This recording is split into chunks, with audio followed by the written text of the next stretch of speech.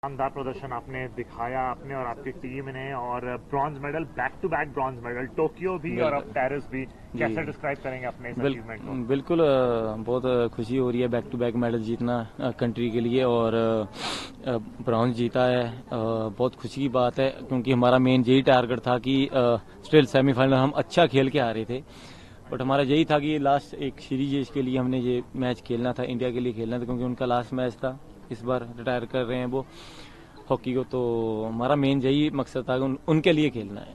तो I think हम वो मैच खेले हैं और जीते हैं बहुत खुशी की बात है।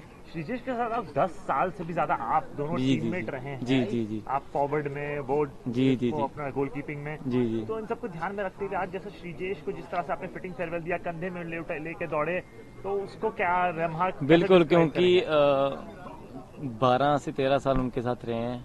बहुत कुछ सीखने को मिला उनके साथ। बहुत अच्छे गोलकीपर हैं। अगर देखा जाए ओलंपिक में उन्होंने ऐसे ऐसे सेव किए बेस्ट जिसको बोलते हैं। तो इनके लिए आज जीतना था हमने। बिल्कुल और एक दिन अभी आपके प्रेसिडेंट साहब ने गॉड ऑफ़ इंडियन हॉकी बोल दिया था। और लिटरली जिस तरह से वो सेव कर रहे हैं वर्ल्ड कप ज़्यादा दूर नहीं है दो साल के अंदर ही है। क्या। रिक्वेस्ट करेंगे? बस एक वर्ल्ड कप तक और खींच ओलंपिक ना सही तो। बिल्कुल जी अपना बेस्ट हम हमने तो बोला था बट उनका अभी डिसीज़न है।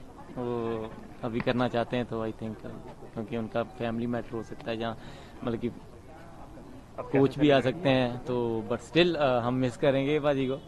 अब कैसे सेलिब्रेट करेंगे ये जो मेडल था? पहले हम मेडल पहनेंगे उसके बाद देखेंगे। जी थैंक यू